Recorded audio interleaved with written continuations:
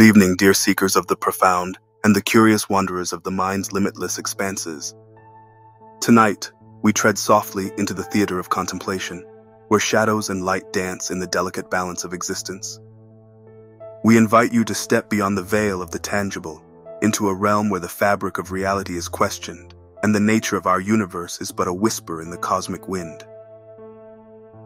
Imagine, if you will, a plane of existence where all that you perceive is three dimensional is but an elaborate projection from a two dimensional surface. This is the heart of the holographic universe theory, a concept that teases the boundaries of imagination and physics alike. But before we venture deeper, let us ponder a question that might unsettle the grounds of your perception. Are we, and everything we know, simply holograms, a 2D information pattern projected into the 3D space we call home? At the core of this enigmatic theme are the principles that define the very nature of holography. A hologram captures a three-dimensional image in two dimensions, storing information in such a way that when light is shown through it, a three-dimensional image appears. The holographic universe theory extrapolates this concept to suggest that the entire universe could operate on similar principles, that the entirety of our perceived 3D space is encoded on a 2D boundary. To understand this, we must dive into the depths of quantum mechanics and general relativity. The theory, birthed from the minds of physicists like Leonard Susskind and Gerard 't Hooft, emerges from the black hole information paradox. It suggests that all the information swallowed by a black hole is actually contained on its event horizon, and thus, nothing is truly lost. This idea magnificently implies that our universe could be painted on a cosmic canvas, with the higher dimensions being a comprehensive illusion. Voices from the past and present have painted this theory with both skepticism and wonder. Physicist David Bohm had contemplated a similar idea, where he saw the universe as an unfolded order a holographic film from which reality emerges. In the words of Karl Pribram, a neuroscientist, our brains could be thought of as holograms interpreting a holographic universe, a symphony of frequencies orchestrated by the cosmos itself. In the cultural sphere, this theory has inspired a multitude of narratives. Films like The Matrix toy with the notion of a reality that is not what it seems a simulated existence that hints at the holographic principle.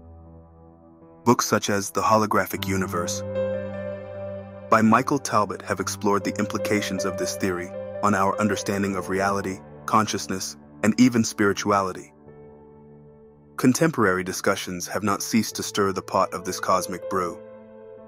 Some scientists argue that the holographic principle could be the key to unifying quantum mechanics and general relativity two pillars of physics that have stood in stubborn isolation. Others warn that we must tread carefully, as the seductive allure of such an elegant theory can blind us to its speculative nature. The relevance of such discussions extends beyond the theoretical.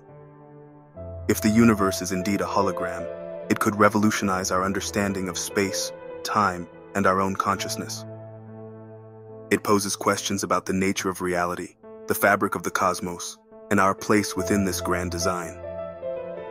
It compels us to ask whether our senses can be trusted, whether our experiences are mere phantasms on the surface of a profound and unknowable truth.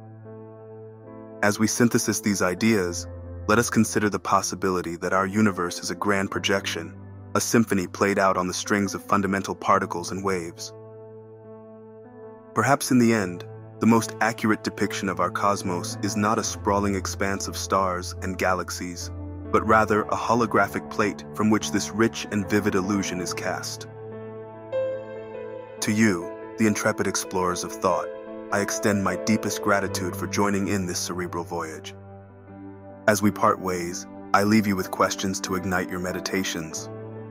What does it mean for our understanding of reality if the holographic principle holds true?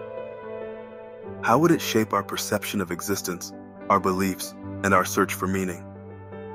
In anticipation of our next philosophical endeavor, may you carry the light of curiosity and the courage to face the enigma of our existence.